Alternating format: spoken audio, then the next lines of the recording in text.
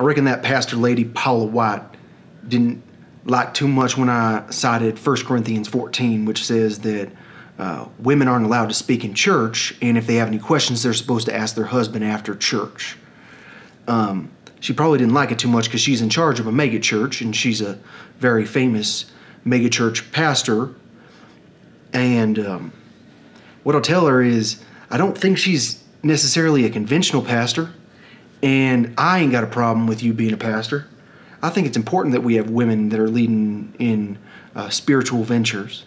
And um, if you wanted to come join my side, which means that uh, I, I, my, my plan is to create uh, a cult of Jesus, which is which is basically a Christian church, and it's it's a very accepting version of, of Christianity, which allows us to not accept every single thing in the Bible. For example, we don't accept that gay people are abominations. Uh, we don't accept that women aren't allowed to speak in church. Uh, we uh, we don't agree with a lot of the Bible, um, but we, we agree with a lot of it at the same time. So um, Paula White could still be a pastor, and she would be a pastor in the cult of Jesus. And if she's a part of that cult, then she'd be a part of, uh, she'd be one branch of paganism, which means um, that everyone else can have different branches. Like some people want to follow Zeus, and they'd have the cult of Zeus, and then there's like the cult of Athena, Aphrodite. And that's actually a sex cult. That's for that's for sex. So you can't actually join that cult, but you can be an admirer of the cult of Athena Aphrodite. Um, a lot of people admire that cult. Um, there's the cult of Triptolemus, which is the farming cult. It's for people who like farming and such. Um, there's the cult of Dionysus. That's for people that really like drinking a lot. Um, but if you're part of the cult of Jesus, then you can still say you're Christian. You're the ones that are right. Everyone's fine with that because you're just one of the groups. And so my plan is I want everyone to be at peace with each other, and that's why I'm bringing back uh, idolatry. But um, this isn't a very good way to pitch to Paula White.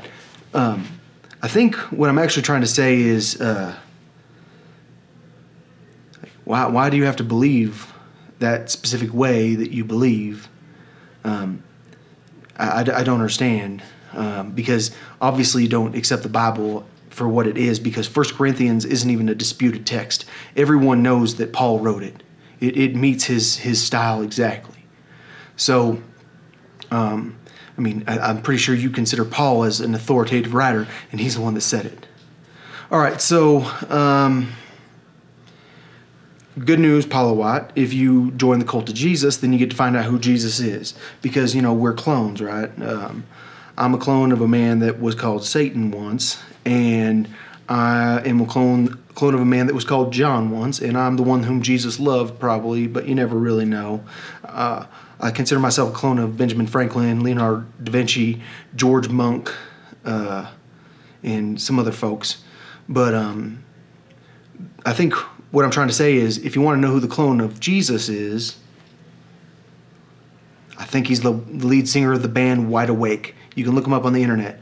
Uh, their first, I think they have an album called Bigger Than Ourselves. It's a really good album, and they have some other good albums too. But uh, I think you really like him. He he was a Christian artist back in the day. I don't know what's happened to him now. His name's Scott. So um, yeah, that's Jesus. Um, I'm planning on putting him in charge of Jerusalem because I don't really want to deal with the religious people. Personally, I just want to hang out on a beach somewhere beautiful uh, with my wife, who I hope to be. Uh, I hope it'll be uh, Miley Cyrus. So, yeah, uh, Paula White should join join my presidential campaign. She should become a preacher in the cult of Jesus, and uh, she could teach all the same stuff. And I won't judge her.